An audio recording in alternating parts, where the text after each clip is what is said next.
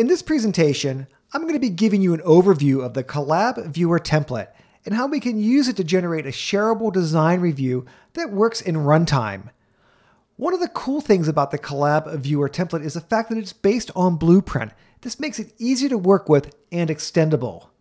Another core feature of the Collab Viewer template is the fact that it's pre-built for VR, which makes it extremely powerful. So let's go ahead and jump in and check it out.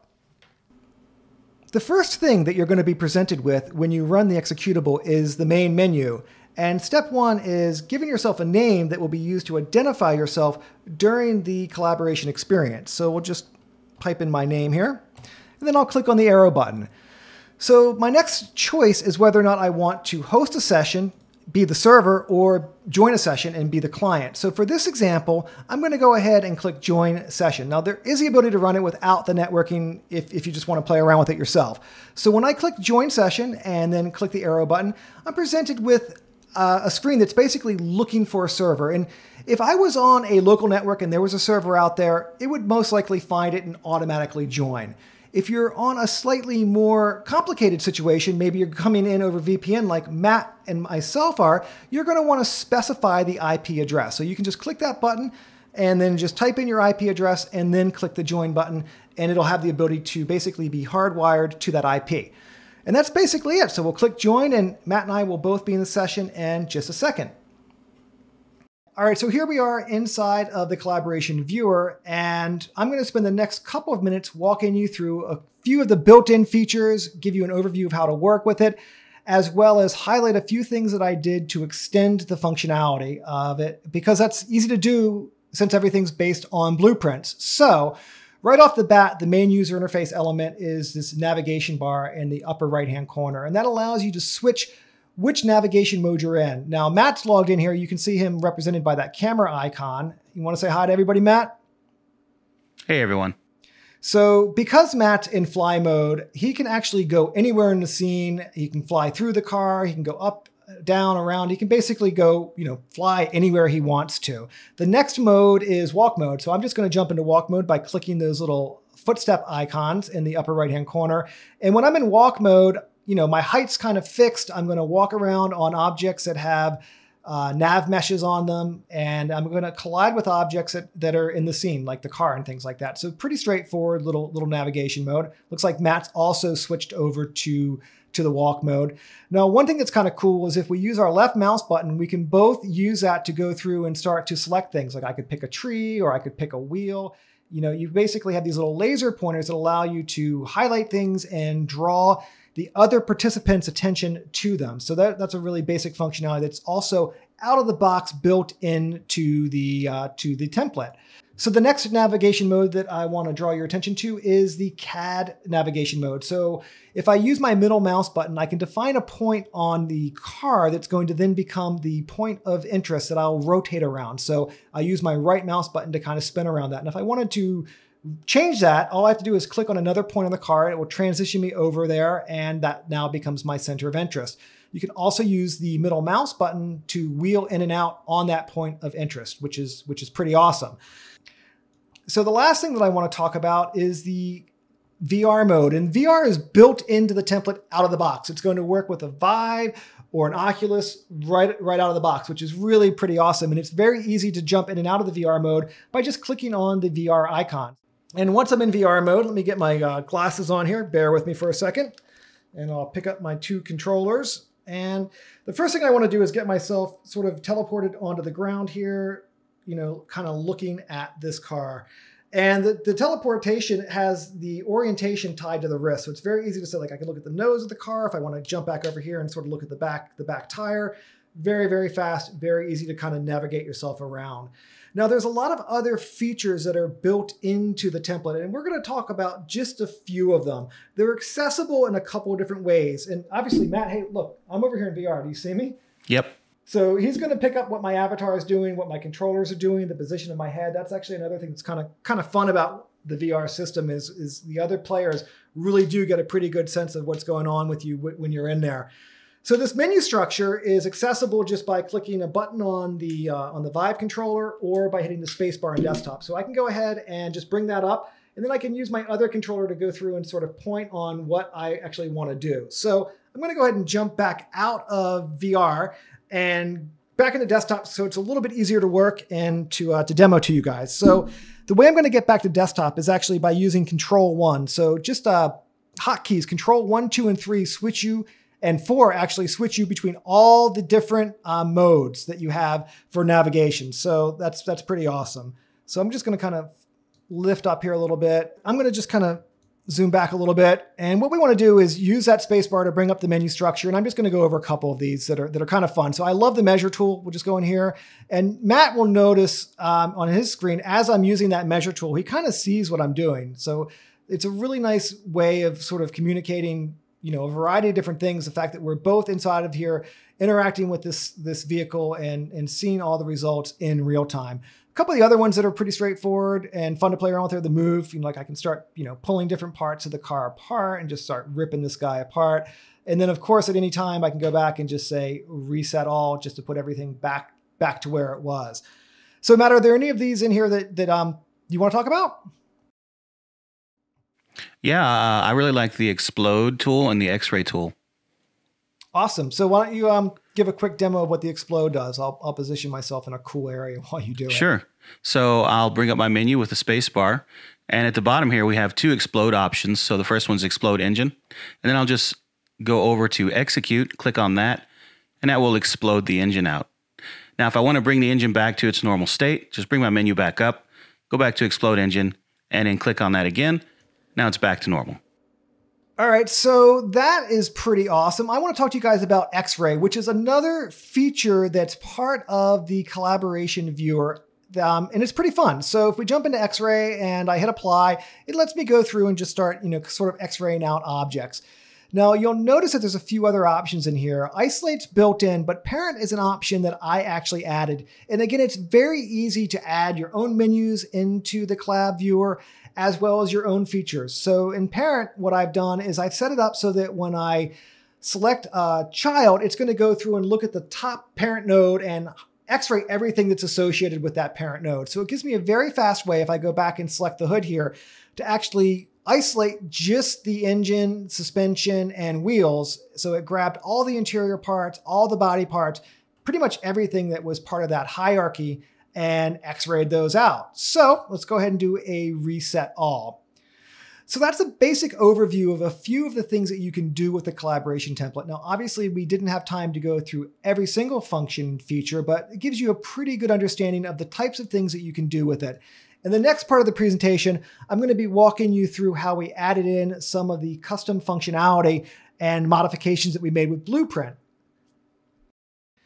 All right, so here we are inside of the Unreal Editor, and I'm going to be walking you through how to get the collaboration template working with your own data, as well as how to hook up some of the basic functionality that comes out of the box with the collaboration template. And we'll finish off showing you how to extend and add your own features in a couple of areas.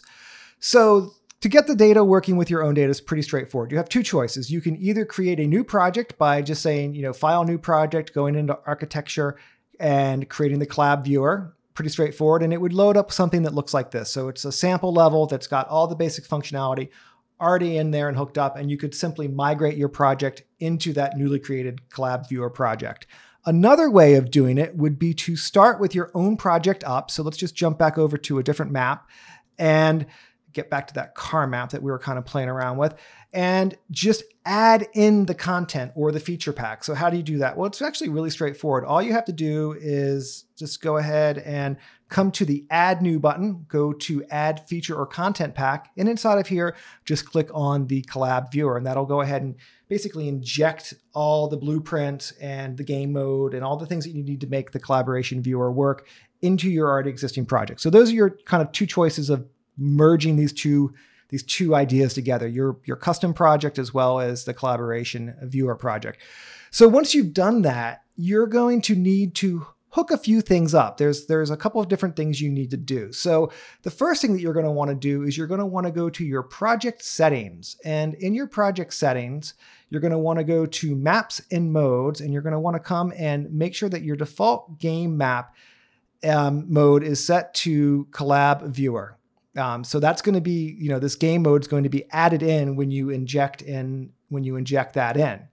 Um, the other thing that you're going to want to make sure is that your game default map is set to main menu. So when you make the executable, setting the map to main menu, that's going to be the level that loads up the UI that says, do you want to host a session, join a session? You know, that's that's basically what that main menu uh, map is. So you just need to make sure that that is that is also set.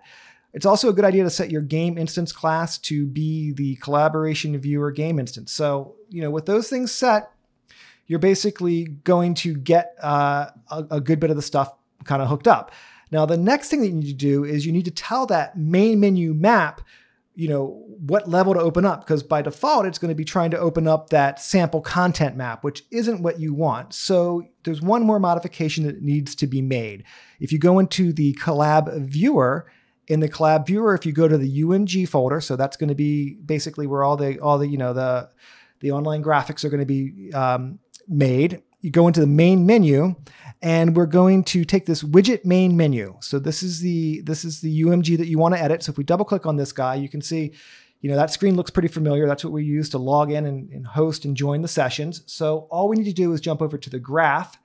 And in this graph, I'll kind of zoom out so you can get a sense of everything that's in here. Toward the bottom, there is this commit user selections. At the end of this chain here, you're going to see open levels, these two open levels. So, you know, this is for the host session, a join session, or a local session. So you're going to want to change this level name to be the map or the level that you want to open. So instead of the starter content, you know, level, I'm setting this to the car level. That's the level that we currently are viewing and working in. So with that done, this is telling you know, basically that map, you know, where do I jump to? What's what's the level that I want to load after I'm done with, you know, setting up the server and the client and, and all and all that cool stuff that's kind of built into the into the template. So that's already been done for my for my project here, obviously. So we can go ahead and we can save that down.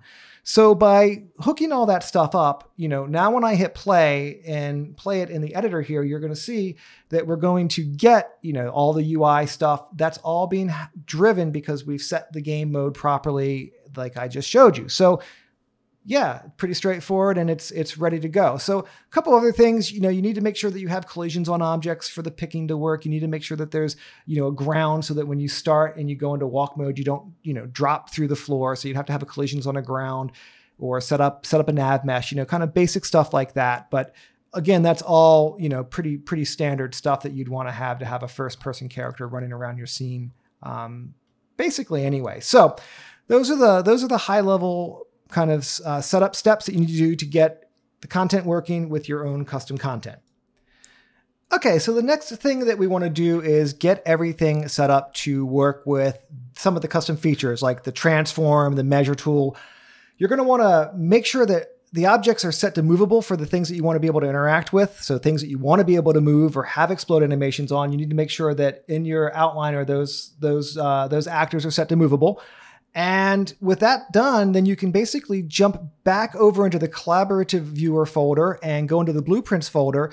And in the commands folder is going to be where we can start adding in some features. Um, so things like X-ray, transform, snapshot, all that stuff, dimensions, that all works out of the box without any setup. But other things like bookmarks, you know, those are kind of user definable, or the explode animation, we've require a little bit of setup. So, but it's really easy to do because it's again all based on this nice blueprinted workflow. So if we just jump into the bookmarks folder and I drag this blueprint bookmark out, it's going to uh, allow me to basically come in here and grab that guy. So if we just grab that BP bookmark and sort of move it forward and you know position it sort of like like there. That's pretty pretty cool. Um, that's now set up, so I'll just grab another one. So this is going to handle you know positioning the cameras, hooking it into the UI. All that stuff is is basically sort of built into this BP blueprint. So you know it's kind of it's kind of taken care of for you, which is which is pretty cool. Um, and that looks that looks pretty good there. So with that done, the next thing that we want to do is we want to go ahead and set up the explode animation. So we'll go back to commands, we'll jump into the explode folder, and again, it's just a simple process of dragging that blueprint into your into your level, and we'll give this a name that's a little bit more meaningful than BP explode. We'll call it uh, we'll just call it explode wheel. So we'll just put an underscore and then wheel inside of here. So with that done, the next thing we want to do is go down into the details panel, go into explode and go to actors root and just click the plus icon and then search for the node that, or the actor that you want to have tied into that explode. So I'm just going to grab wheel front left. So pretty straightforward. So with that done, I'm going to set my initial location and we can just search for wheel up here. So it's just easier to grab. So we'll grab that wheel and we'll just pull that guy out and then we'll jump back to our wheel explode and we'll tell it to set the explode location. So I just click on that guy. So now we can view the explode or view the initial location. It's all set up and ready to go. So we're really just kind of recording those two hero keyframes. So with that done, if we go ahead and hit play and load this guy into PIE, you can see we now have our blueprints that allow us to jump between, you know, these two these two points. So the UI is basically being, you know, driven by those those blueprint actors that we kind of placed.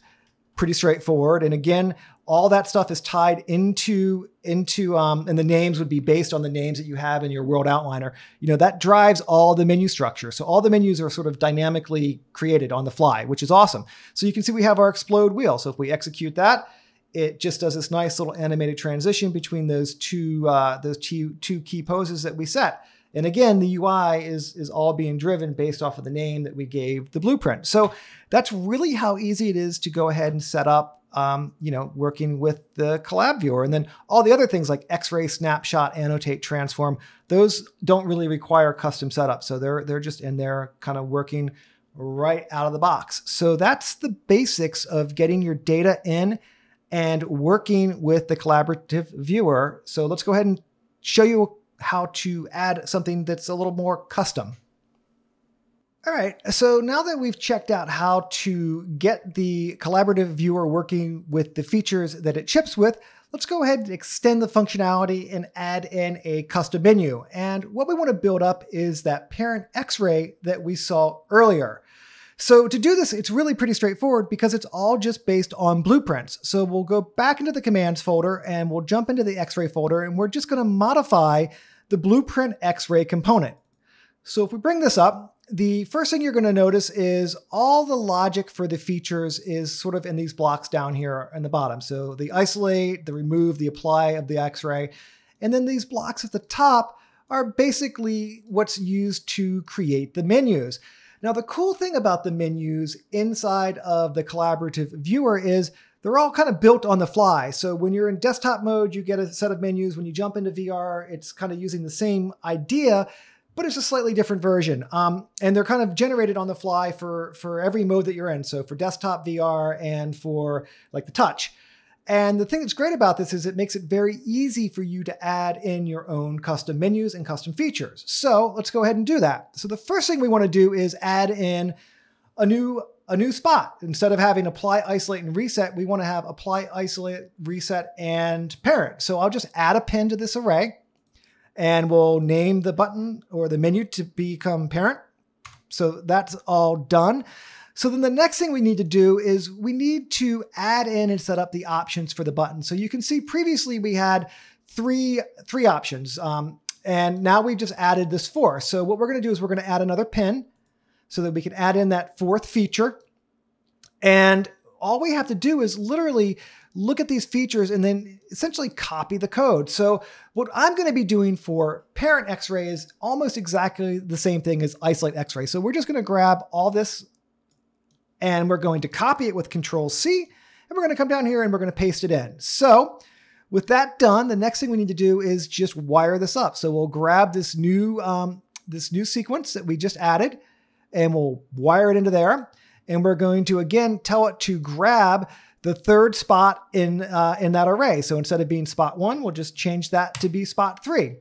So with that done, we'll go ahead and hit compile and we can probably call this custom event something a little bit more meaningful like option four to make it a little bit more consistent. So we're kind of done with that for now. We're going to come back here and, and play with this a little bit in a second, but for now we're, we're pretty good. So we've got the menu system set up. The next thing we need to do is create the feature. And as I said previously, this is almost the same thing. Parent is almost the same thing as isolate. So we're just going to grab all this, we're going to copy it, and we're going to come down here and we're going to paste it. So with that done, the next thing that we're going to do is we're going to just hit compile. So it'll go through and build all these custom events. What we want to do is we want to name it something like isolate X-ray. Um, we're going to name it parent X-ray. So instead of being custom event two, we'll just call this parent X-ray. So pretty straightforward. So with that done, the next thing we need to do is just make a small change to this code. And like I said before, the difference between parent and isolate is literally just the most basic change. Instead of just being false after this branch, it's going to be false and true. So with that done, we've now got the, the feature built. So let's, let's give this a new name. Instead of that, we'll call it parent. So the final thing that we need to do is we need to link this parent x-ray that we just kind of made into that menu structure. So let's just go back up to that guy, up to the options. And this is where we just added in that isolate x-ray. So instead of being isolate x-ray right here, we just need to have this become parent. So we'll just branch off of that and start typing parent. Got to spell it right. And you can see there's parent x-ray. So we'll grab that and we'll grab this. So we're just going to match what's going on here and we'll replace that to there and we can just delete this guy now. So now that we've done that, if we go ahead and compile this and save it out, let's just close this down and go back into play this in the viewport. And if we hold down our menu structure, you can see in X-ray, we now have parent. And if we go in and execute that guy, you can see parent X-ray shows up down here. And if I touch the fender, it's going to go through and X-ray out everything um, that that fender, you know, from the parent hierarchy down of that fender. So it does exactly what we wanted it to do. So it's that easy to go through and add in your own custom menus and your own custom features. So that's uh, that's pretty cool. All right, so we are quickly running out of time, but I have added in three more features that are pretty cool. So I'm going to give you a brief overview of the concepts and just give you a quick tour and run through of the blueprint code. So inside of this, we're already in play. And if I hit the tab key, you'll see that I have a little animation happening. And this is pretty easy to set up inside of Unreal. What's interesting about this is because we're working in the collaboration viewer with server and clients, we need to make sure that everyone gets that information broadcast out to them or multicast out to them. So I'm going to show you how that was set up in the blueprint code. The next thing that we're going to look at really quickly is the C key. So with the C key, it allows me to change between a 50 and a 90 on the camera. And it doesn't matter which which navigation mode I'm in, it's still going to work using that C key. So that's that's pretty cool. And the final thing that we're going to look at is a VR optimization mode that I had. So based on the navigation mode, I'm going to go through and change a bunch of stuff when I jump into VR. So when I click on the VR icon there, you can see that everything got a little bit brighter. So I'm tone mapping it when I go into VR because the VR headset was super hot compared to my colored monitor. So this makes it look great in the VR headset. I've turned off the trees. I've changed the bloom model. I've done a bunch of stuff to basically get this back to playing at 90 frames per second. So if we hit control one, and go back to our, you know, our, our one of our desktop based modes, you can see we're back to the, the full high quality. Um, and how I'm doing that, let's go ahead and exit out of this guy, is actually pretty cool. I'm actually using the variant manager to switch between these modes. So I've got some things set up there to do different car configurator things, but the fun one is this little desktop and VR switch. So if I double click on VR, you can see that's my optimized mode that looks great in my headset and plays back at 90 frames per second. And then this is my higher quality desktop mode. And again, I'm just, you know, basically using this to change a bunch of different things all at once. Variant Manager is awesome for that. So with that done, let's jump in and check out the blueprint code for, um, for the camera and the door. And again, it's going to be a quick overview, but it's more about getting the, the concepts and, and being inspired by it. Hopefully this will, will plant some seeds for you guys to try some stuff on your own. So inside of the collaboration viewer folder in the blueprints, what we need to do is jump into the pawn. So in this base pawn, it basically goes out and it gets referenced into the desktop, the touch, and the VR. So if we make changes to this base pawn, it's going to update into all those different navigation modes. So this is where a lot of the work is actually happening. So if we jump into the base pawn, And, you know, this was all the code that was in there. So I added in my own custom stuff kind of down here at the bottom. So in the base pawn, we've got the camera and this is, this is, this is actually pretty simple. So we've got the C key going into a flip flop and that's basically setting the field of view based on this camera that lives right here. And then that camera gets dropped into VR, you know, into, into uh, the desktop modes and, and all that. So all I had to do was literally just execute this little bit of code inside of that pawn and it's just going to work. So I just, you know, dragged that guy out and then just did a set field of view off of, off of the camera. Very, very simple, very straightforward. So the door opens a little more complicated. So the first bit of code here is just how you would make the door open with a hotkey, like without trying to run it on the server. So the first thing we need to do is get that sequencer animation and store it in an array. So that's what I'm doing right here is I'm basically saying get all actors of class for that sequencer. I'm and I'm getting a copy of that and storing it in this this um, this basic uh, variable called sequencer, which is obviously a, a level sequencer.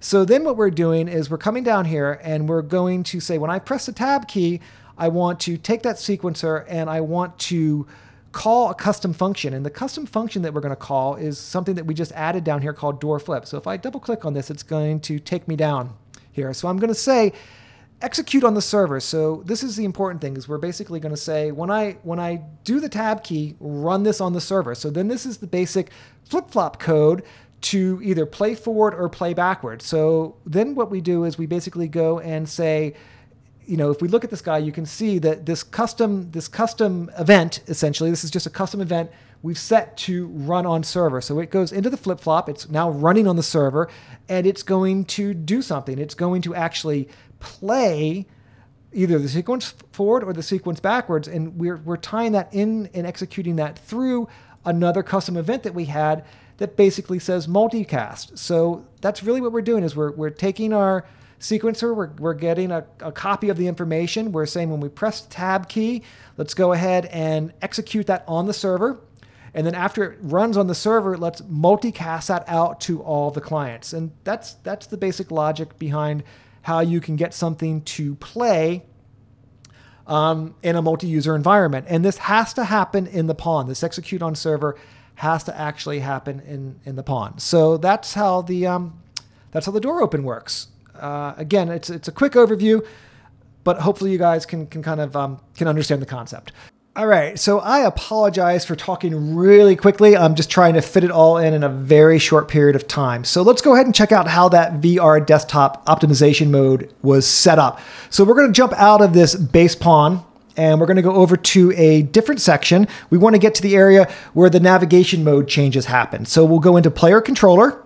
Um, this is in the blueprints folder in the collab view folder, and we'll just bring up the the player controller. So in the player controller, we need to do a few things. So very similar to what we were doing with the door, the first thing we need to do is, is store the information of that level variant set in a variable. So we're going to do a get all actors of class and you know create an array and then store that in something called VM switch. So that's just a you know like a variable that I made for that level variant set.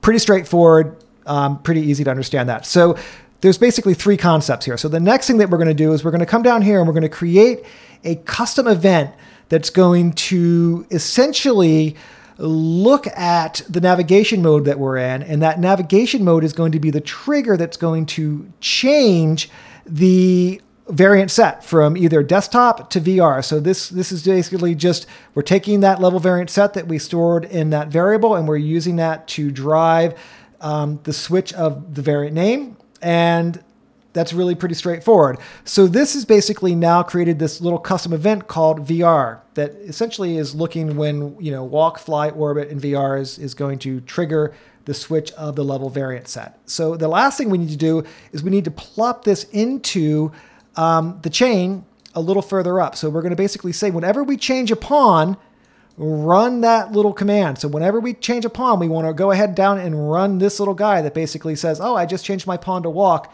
throw that level variant set to desk. I just changed my pawn to VR, throw that level variant set to VR. And that's that's basically it. It's, it's essentially three little things. You know, you store the information, you come down here and you you you build this little custom event that's going to say when I when I switch my modes do stuff. And then when you look up here, it's basically this is when the mode is actually changing, you know, when we jump between the different pawn types. So that is basically it. Thank you so much for taking the time to watch this presentation. And if you're interested in collaborative workflows inside of Unreal, make sure that you watch the multi-user editor demo in the link below. Cheers, everybody.